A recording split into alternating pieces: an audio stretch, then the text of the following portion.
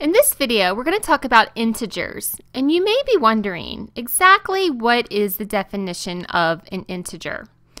Well, an integer is any whole number that can be positive or negative. So for example, I'm going to start with the numbers that you're familiar with. The numbers 0, 1, 2, 3, and 4. And this would go on forever.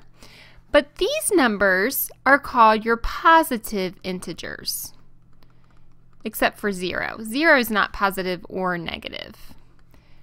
But the numbers 1, 2, 3, and 4 are your positive integers. These integers are considered integers because they're whole numbers. They are not fractions and they are not decimals. And integers must be whole numbers. They cannot be fractions or decimals. But each of these positive integers that you're used to working with also have an opposite.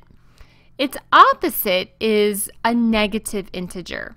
So for example, the opposite of negative, I'm sorry, the opposite of 1 is negative 1.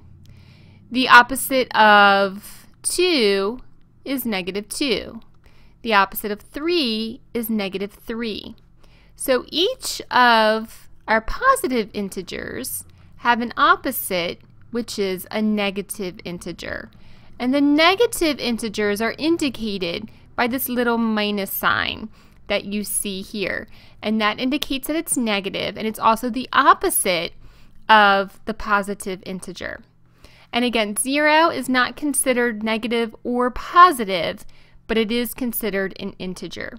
So the most important thing that you need to remember about integers is that the set of integers does not contain any fractions or any decimals.